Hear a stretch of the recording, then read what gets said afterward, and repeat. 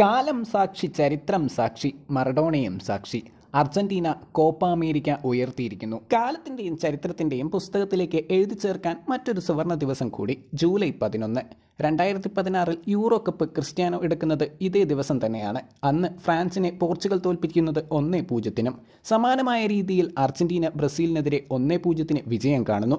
Messi കപ്പെടുക്കുന്നതും July പതിനൊന്നിന് തന്നെ മത്സരത്തിന്റെ തുടക്കത്തിൽ തന്നെ മാലാഗ അവതരിക്കുന്നു. ഏഞ്ചൽ ഡിമരിയ എന്ന രൂപത്തിൽ അർജന്റീനയ്ക്ക് ലീഡ് ലഭിക്കുന്നു. പല തവണ ഫൈനൽ തോറ്റിട്ടും വീണ്ടും ലിയണൽ മെസ്സി എത്തി ഇത്തവണയും കോപ്പ അമേരിക്കയുടെ ഫൈനലിൽ മെസ്സിയും കൂട്ടരും ഇത്തവണ ട്രോഫി കൊണ്ടാണ് മടങ്ങിയിരിക്കുന്നത്. മെസ്സിയുടെ ചരിത്ര നേട്ടത്തെ പുകഴ്ത്തി പറയുകയാണെങ്കിലും അർജന്റീനിയൻ ടീമിനെ കുറിച്ച് പറയാതെ വയ്യ. അതേപോലെ തന്നെ ബ്രസീലും ഇരുവരും മികച്ച ടീമുകളായിട്ടായിരുന്നു ഫൈനലിലെത്തിയത് ബ്രസീലാവട്ടെ മിന്നും ഫോമിലുമായിരുന്നു നെയ്മർ ജയാറുന്ന സുൽത്താൻ നിറഞ്ഞാടിയൊരു മത്സരം കൂടിയായിരുന്നു ഈ തവണ ഒന്നൊന്നായി ഓരോ അർജന്റീനിയൻ പൂട്ടുകളും ഭേദിച്ചുകൊണ്ട് നെയ്മർ അകത്തേക്ക് തുളച്ചു കയറിയപ്പോൾ ഓരോ അർജന്റീനിയൻ ആരാധകരുടെയും നെഞ്ചിൽ തീയായിരിക്കും. അർജന്റീനിയൻ ആരാധകരുടെ ഈ സുവർണ നേട്ടത്തിലും വാഴ്ത്തിപ്പാടാൻ ഒരാളുണ്ട് സ്കലോണി എന്ന അവരുടെ തന്ത്രജ്ഞന്. അദ്ദേഹം ഈ ടീമിനെ മെനഞ്ഞെടുത്തത് ഏറെ വർഷങ്ങൾ കൊണ്ടാണ്. അതിന്റെ പക്വതയും ഈ ടീം കാണിച്ചിരിക്കുന്നു. ഫൈനലുകളോളം കണ്ടുകൊണ്ടിരുന്ന അതേ ശാപം ഇക്കുറി പിടികൂടിയില്ല. ഇക്കുറി നീതിയും ന്യായവും ലിയണൽ മെസ്സിക്കൊപ്പം പോയി എന്ന് പറയാം. കുറച്ച് ഭാഗ്യം കൂടി. എന്നാൽ മാത്രമല്ലേ ബ്രസീലിന്റെ ഒപ്പം വിജയം കാണാൻ സാധിക്കുകയുള്ളൂ. മിഡ്ഫീൽഡർ നയന്റീൻ വീഡിയോ അവസാനിപ്പിക്കുന്നു. ചാനൽ സബ്സ്ക്രൈബ് ചെയ്യുക ബെല്ലൈക്കൻ അടിക്കുക. വീണ്ടും വരാം.